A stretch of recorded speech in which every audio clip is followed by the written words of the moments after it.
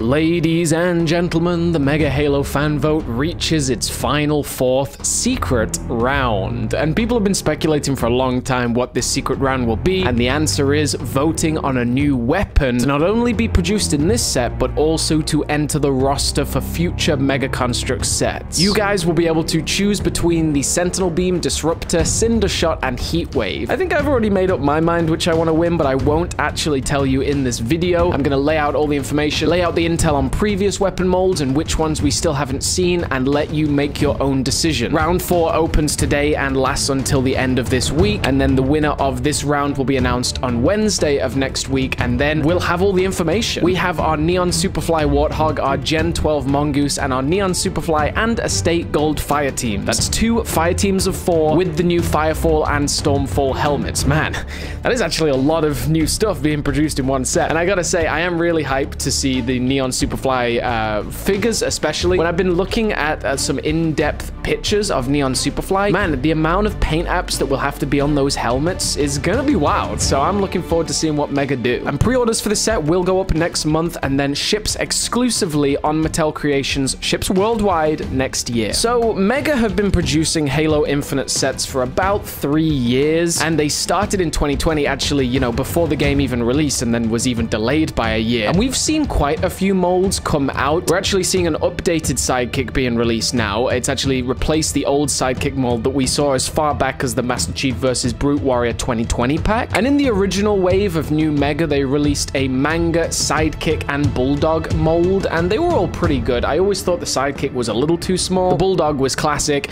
and I, actually a lot of those weapon molds, including figure molds back then, were like the first time the community had ever seen, or like the broader Halo community had ever seen these molds. We didn't even know what a bulldog shotgun was back then. We just thought it was a new updated shotgun design when we saw that original mold from Mega. So we had a Mangler, Sidekick, and Bulldog originally, and over the last couple of years, we've had the Shock Rifle, Commando, Pulse Carbine, and Ravager. The Pulse Carbine and Ravager have been even more recent. The Pulse Carbine coming out in the new Bizarre Battlegrounds set. I think it's that one, or maybe it's the other one of the two. And the Pulse Carbine, now that was the Pulse Carbine. Wait, what was the other one? The Ravager, yeah. That came out in one of the helmets last year. So we've been having a drip feed of these molds. We're getting the new bandit weapon in season three, uh, Echoes Within. I think it's Echoes Within of Halo Infinite. And I think Mega's probably just going to re-release the no scope DMR as a bandit for any future set. But I'd be interested to see if they eventually produce a mold. We got some interesting choices between the Sentinel Beam, Disruptor, Cinder Shot, and Heat Wave. They all have some merits. I think some more than others. And again, I won't be biased here, but I'll state the facts. You know, we've had a Sentinel Beam for a long time. Mega have stated that the Sentinel Beam is no longer in production. They had some issues trying to adapt it to the new Sentinel that came out in the Infinite Series 4 blind bags. So it's obvious Mega does want to make a new Sentinel beam. This one would probably be way more adaptive. It would be more in line with new figures. And I imagine if they designed it, they would incorporate a way that you could attach it to your Sentinels. Probably that little hole in the bottom would then go into the Sentinel. I don't I remember Yan's exact words, but he said something along the lines of that the Sentinel beam was an old mold that couldn't be produced anymore. When Mega makes molds, they become brittle and unusable over time. And if you don't produce something, uh, if it's not in production for a long period of time, the mold becomes unusable and you basically have to design it again. Or at least that's what I've been gathering from my information. So I think Mega definitely feels like it's time to make a new Sentinel beam. Do I think it's like so necessary? I don't know. I mean, I have like a box full of about 40 Sentinel beams, but it would be cool to see a new mold for sure. The Disruptor, I think, will be a fan favorite. I didn't really enjoy the Disruptor at first, but I think they uh, buffed it quite a bit and it is quite fun to use nowadays, especially in Fiesta. It would be cool to see how they make a mold like that, and especially cool to see a painted version of that. I would love to see some kind of electricity pulsing through it. Then we have the Cinder Shot and the Heat Wave. I honestly see these as being more popular votes than the other two, but I, again, it's hard to predict sometimes where the fans will go. You know, I unboxed a 3D printed Heat Wave recently from LS 3D Customs, and that was incredible, so I would love to see more of that. The Cinder Shot, I feel like it's the most complicated of the molds. Like, it would definitely be the largest of the weapons, so it would be interesting for Mega to make that. The Heat Wave wave, it would be cool to, uh, I mean, you could technically get two variants of the heat wave. One for the vertical, one for the horizontal firing, but I don't think they'll do that. Yeah, heat wave, cinder shot, disruptor, and sentinel beam. I'm kind of surprised the skewer's not in this list. Pretty much the only two weapons that are missing of this list and the ones we've already got are the skewer and the hydra. But we have had a hydra since Halo 5, so it's not really a necessary mold. But the skewer, I don't know. So I've got uh, this here. This is uh, a 3D printed work. This is painted by Flustered MCX, I believe. This is just exceptional. This has been on my desk for a long time. I just think it's so gorgeous. So I would love to see a skewer produced by Mega officially soon. The skewer is alongside my Diminisher of Hope, again a 3D printed weapon. And you can actually buy so many good quality 3D printed weapons from places like LS 3D Printed and Dougie Customs. And Mega have actually come in support of 3D printed pieces in the past. Yan said they're a natural extension of the Mega brand, which I think is a really cool thing to say. Instead of just sort of blocking that element of creativity from the community, I think it's really good to embrace it. But yeah, Sentinel Beam Disruptor, Cinder Shot, and Heatwave. I would imagine, seeing as uh, Uh, we get two Firefall and two Stormfall helmets, I think it's probably safe to say we might get two of the weapon in this set. And then again, it's going to be produced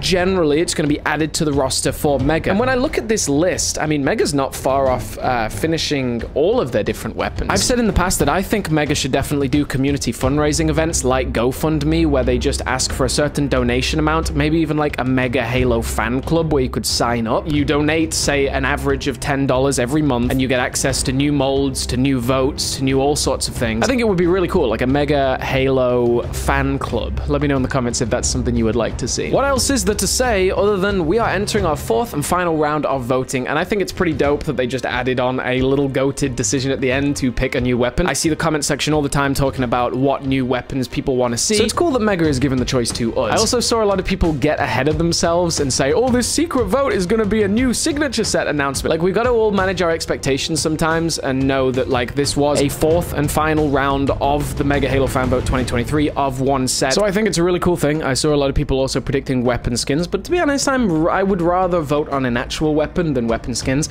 And Mega, if you're listening to this, I mean, hey, we got the Neon Superfly and the Estate Gold coatings, so maybe the weapons should just be made in black, solid black and solid gold. I don't know, that's something to think about. I don't think these will be painted weapons, to be honest, although maybe if we're voting on this one new weapon, they might have it painted, like as the only painted weapon. I don't know, only time will tell. But in general, this has been an absolute riot to present these Mega Halo fan vote rounds of voting to you guys. It's been a lot of fun. And remember, this ships exclusively on Mattel Creations, and pre-orders go up next month, and to the best of my knowledge, that is the only time you will ever be able to pre-order this set, or ever able to order this set. I think it is literally just going to be straight to consumer, produced to the quantity that we order. And that's also a good way to avoid scalping as well, because no matter how much the scalpers order, as long as you put your order in, they're just going to produce your set. I don't think it's a limited quantity at all, and this ships worldwide on Mattel Creations. I honestly think it's an incredibly important thing that we support Mattel Creations, especially with distribution nowadays. We need Mega to be able to produce these sets and ship direct to us. This directly combats uh, worldwide distribution issues, especially for people in England, where they can order direct from Mattel Creations. So thank you very much for tuning in today. This was another video with the domain. Let me know in the comments down below what you're going to vote for, what you want to see in future votes, and how you've been enjoying vote so far. Mega wants to see that this is uh, a supported thing, so they continue to make more Mega Halo fan votes in the future. And as always, you stay awesome, you stay oh so super duper safe out there, and the domain is signing off.